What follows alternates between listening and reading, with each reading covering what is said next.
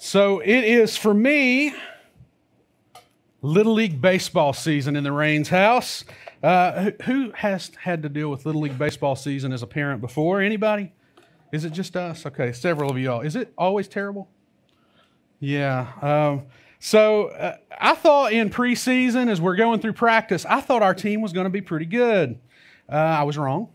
We have not won a game yet, and the other night we had uh, our third game of the year, and it was the worst game we've played all year, which is bad when you've not won a game yet. So, um, yeah, we are, uh, everything's going wrong. We had trouble making throws. We couldn't throw it from second to first, which isn't that far. You'd think that would not be a problem. We couldn't stop balls coming through the infield, but our kids were at least on the same mission. They were trying to win a game and if nothing else, their hope was, well, their coach's hope, because their hope was they're still going to win the game, but their coach's hope was maybe they'll at least get better by the end of this game. They didn't.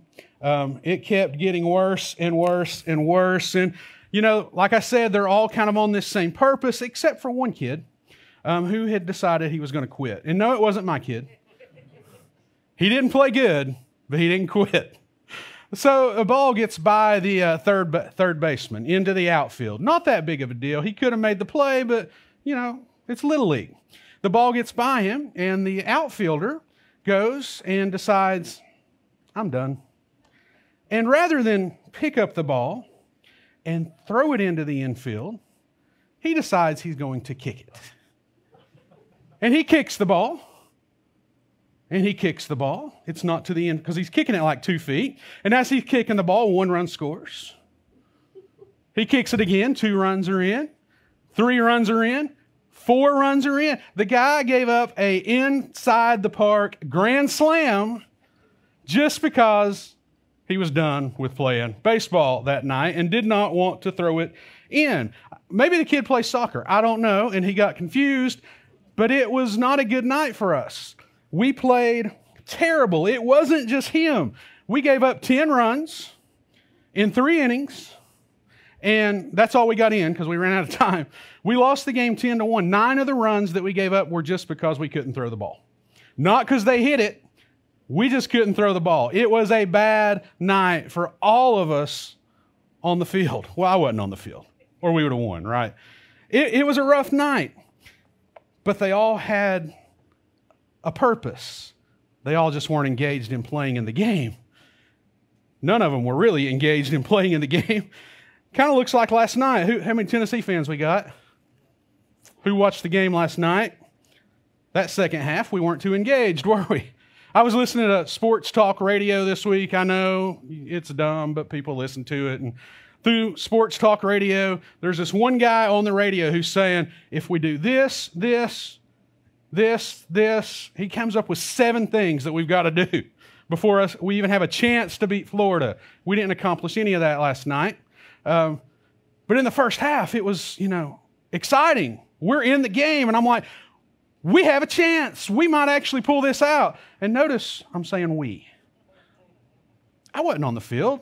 I had no influence on this game whatsoever. And in the second half, as it kind of goes sideways, I'm like, y'all are terrible. Can you figure out how to catch the ball? I'm putting it on them in the second half. First half, I was part of the team, but hey, anyways, you know, in reality, if you're a sports fan, we're cheerleaders, but we're not really a part of the team. We're, we're really good at cheering them on when things are going well. We're really good at cheering against them and yelling at them when things are going bad, but we're cheerleaders. We're not part of the team.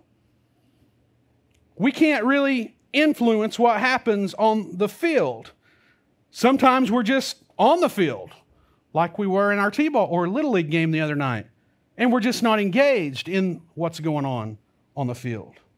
Here's the thing as we dig in this morning, as we talk about this initiative that we're putting out there called Who's Your One, sometimes we're really engaged in the faith.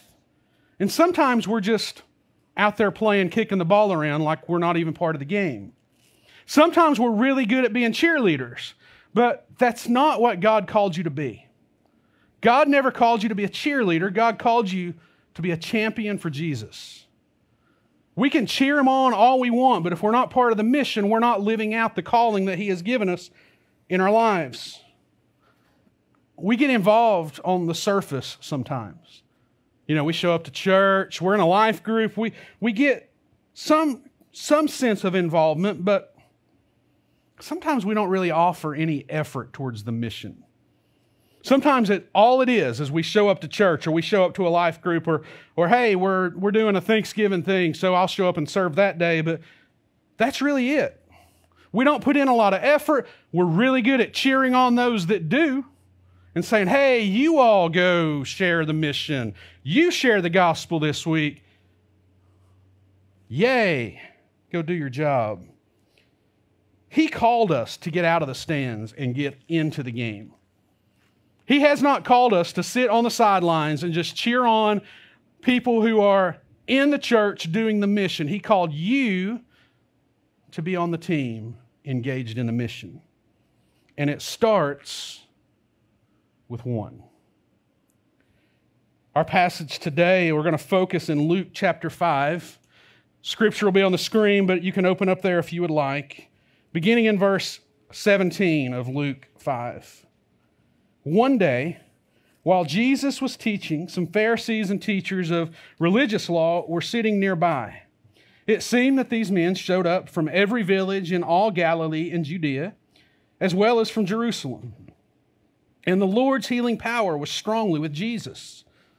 Some men came carrying a paralyzed man on a sleeping mat. They tried to take him inside to Jesus, but they couldn't reach him because of the crowd.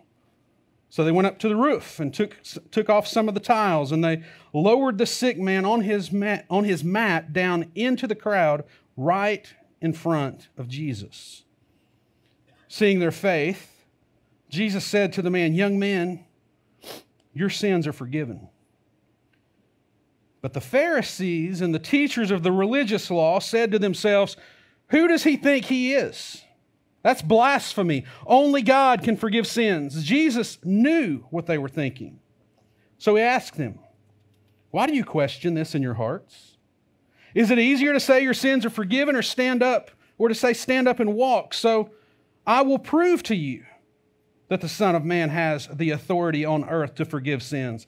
Then Jesus turned to the paralyzed man and said, Stand up, pick up your mat, and go home. Immediately, as everyone watched the man, jumped up, picked up his mat, and went home praising God. Everyone was gripped with great wonder and awe. And they praised God, exclaiming, We have seen amazing things today.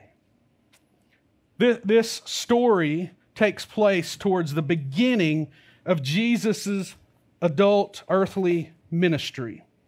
And He's constantly having these interactions with the religious leaders, with the Pharisees, with these people who were supposed to know what it meant to follow God.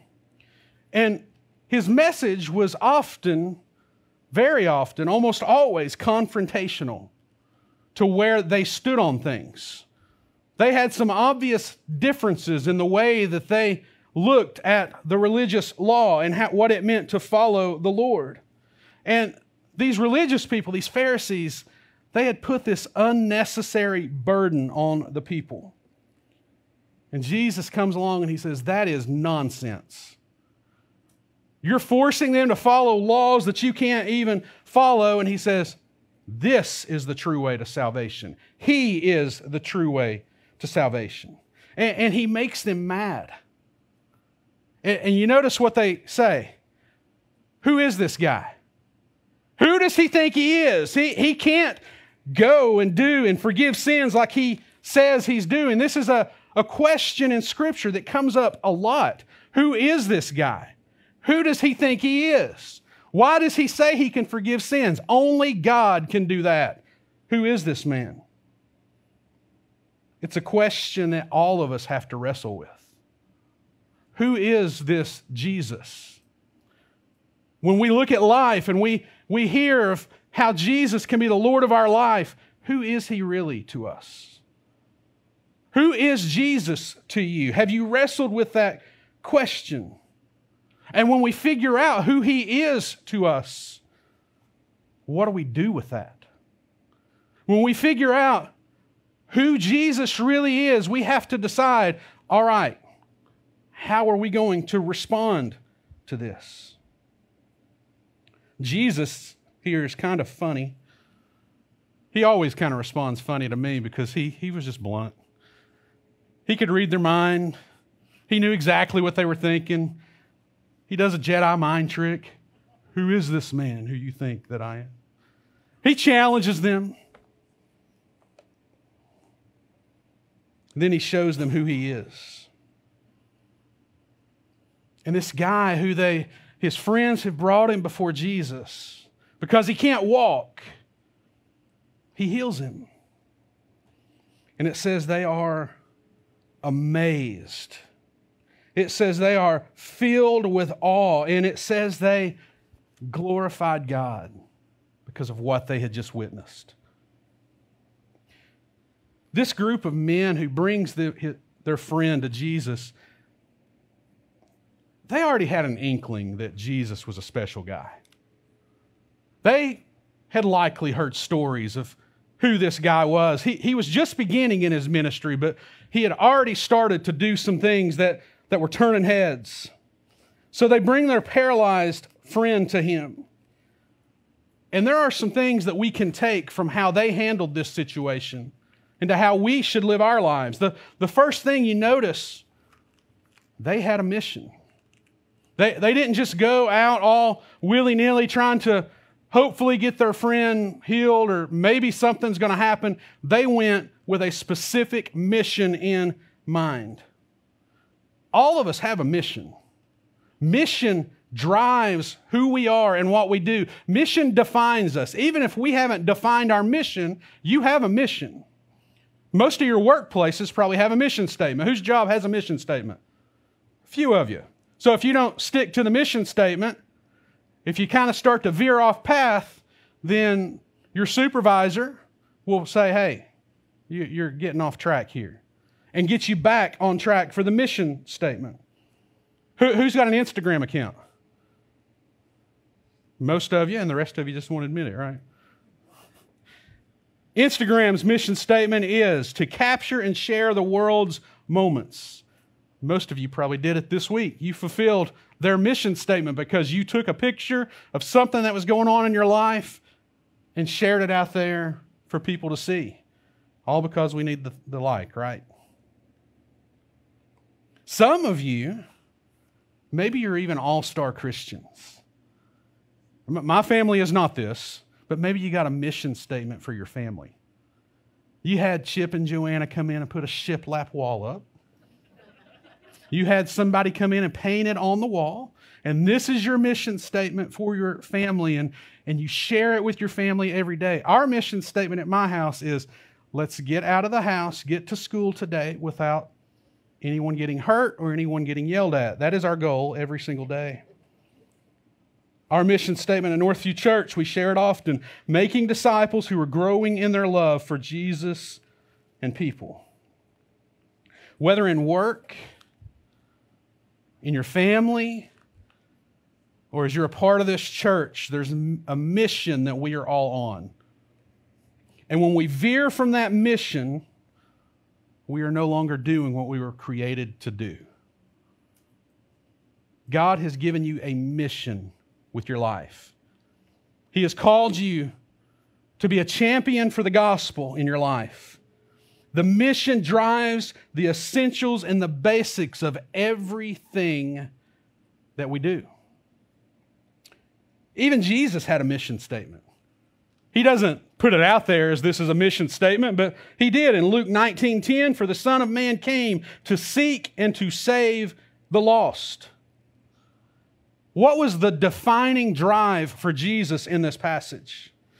Or for, his, for these men in this passage?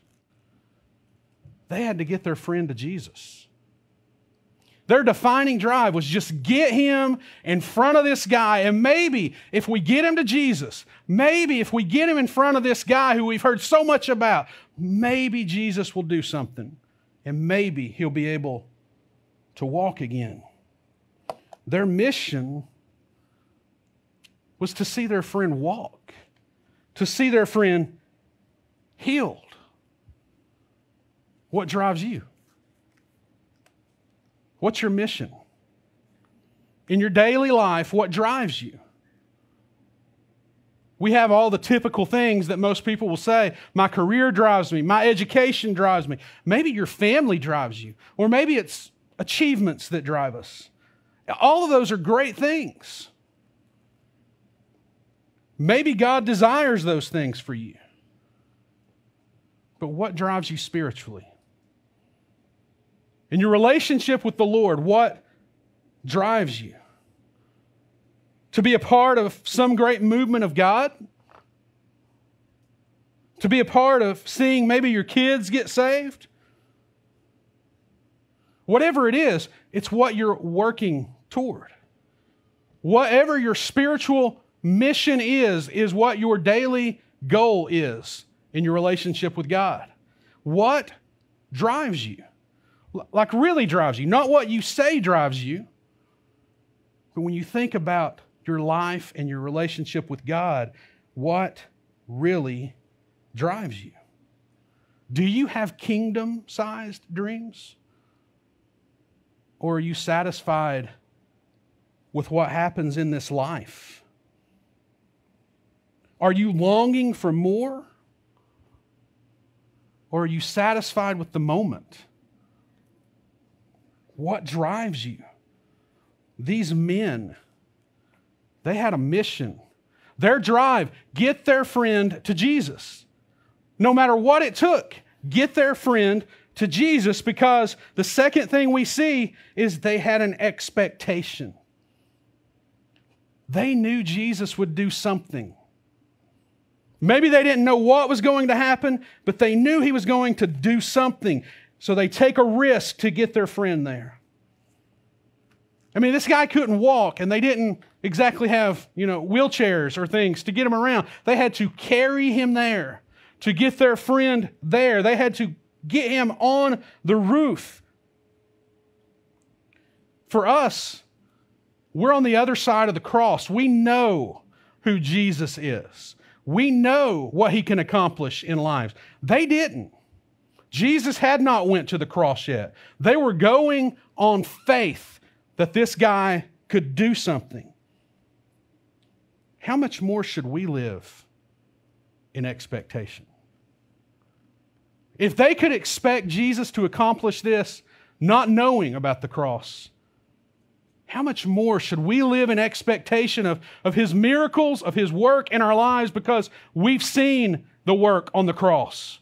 We've experienced, hopefully, all of you in this room has experienced His divine healing of your soul in your life. They had an expectation.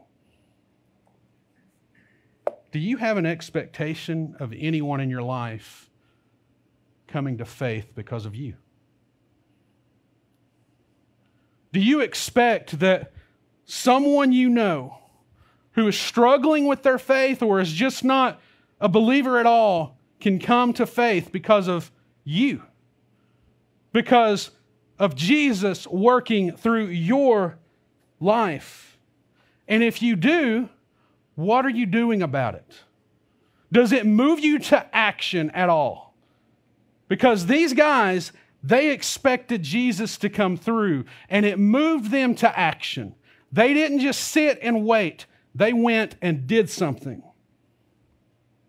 But they faced an obstacle. It's not easy to go about the mission. Things pop up that distract us from the mission. Things pop up that we've got to get through to be able to make it on the mission. These guys, they faced an obstacle. The crowd was too big. How, are they going to get to Jesus? They can't even see him.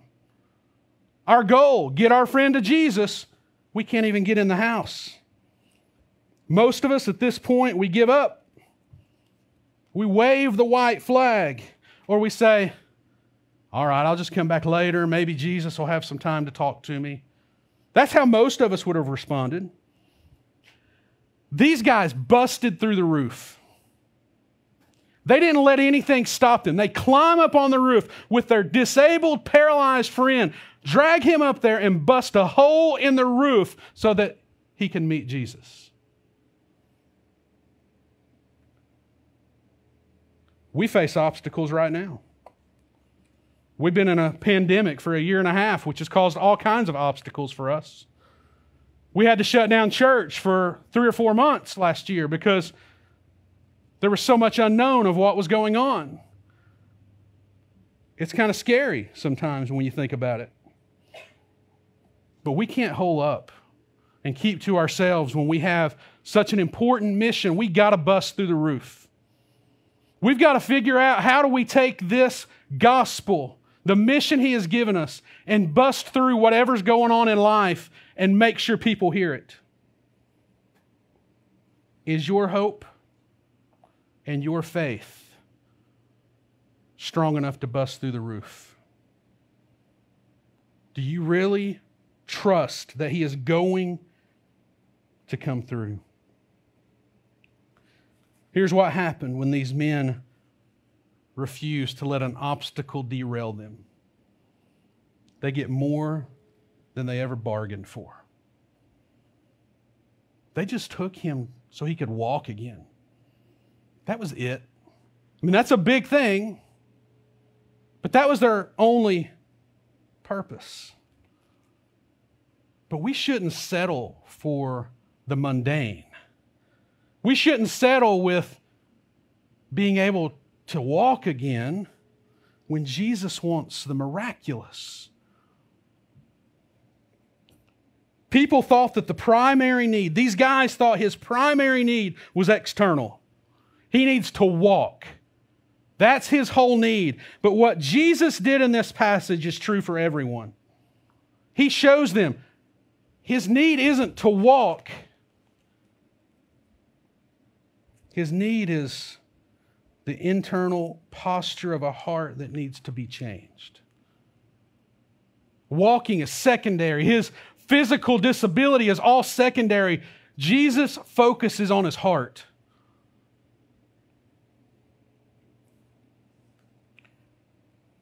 I firmly believe that God has placed this church, this group of believers in this place at this time, in this darkness we see going on in our world, because Jesus wants us to expect a miracle. Jesus wants us to expect Him to come through with us on mission. He doesn't just want us sitting back. He hasn't called us to be cheerleaders. He's called us to be champions of the gospel. He's called us to go and to fish. It's a story, I've shared this story before. Darrell Robinson wrote in a book called People Sharing Jesus.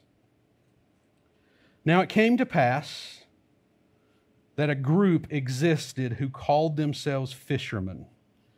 And lo, there were many fish in the waters all around. In fact, the whole area was surrounded by streams and lakes filled with fish and the fish were hungry. Week after week, month after month, and year after year, these who called themselves fishermen met in meetings and talked about their call to go fish, the abundance of fish, and how they might go about fishing. Year after year, they carefully defined what fishing means. They defended fishing as an occupation and declared that fishing is always to be a primary task of fishermen.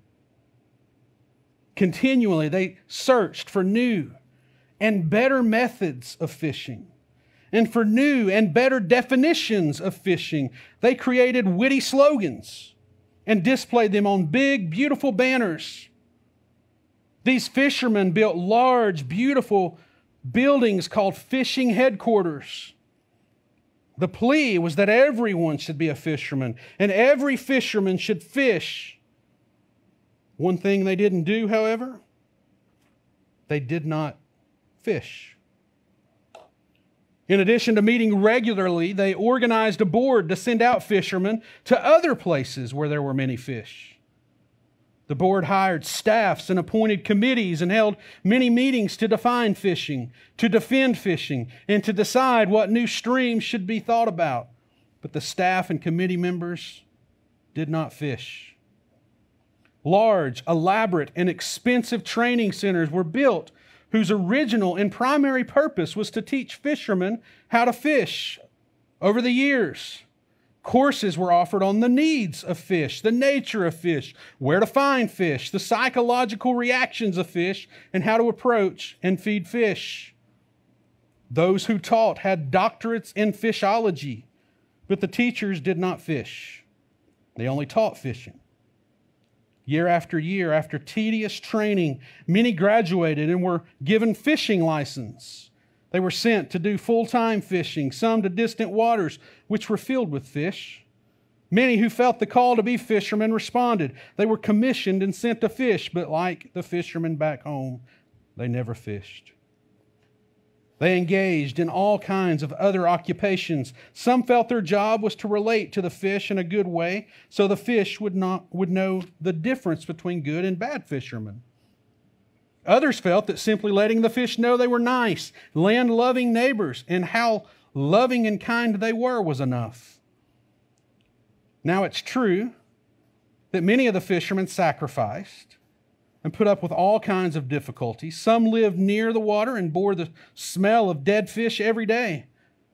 They received the ridicule of some who made fun of their fishermen's clubs and the fact that they claimed to be fishermen, yet they never fished.